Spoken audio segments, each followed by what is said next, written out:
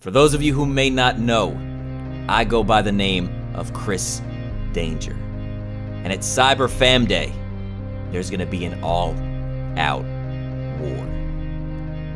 You see, my good friend Tubby Emu over here has been issued a challenge from that Frankenstein reject, It's My Yard.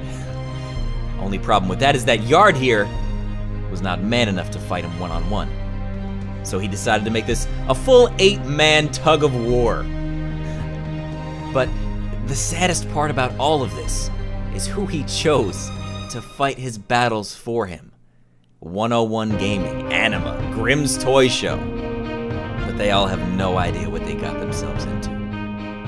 Because, see, you don't become the greatest WWE 2K15 superstar without having a little backup. So at Cyber Fam Day, Team Yard will battle Tubby Emu, Joker, Smack Talks, and me. All four of your futures are in danger.